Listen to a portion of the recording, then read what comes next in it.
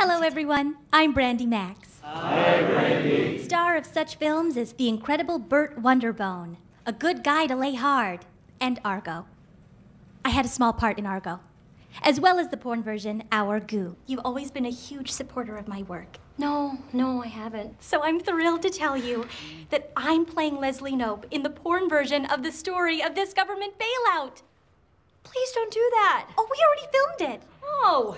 You might be thinking, what does an adult film star know about politics? Well, I produced and starred in over 400 adult films this year alone. Woo! Thank you. And just like Leslie, I know what it's like to be the only woman in a room full of men. Some of us believe that you need to roll up your sleeves and do the hard work yourself.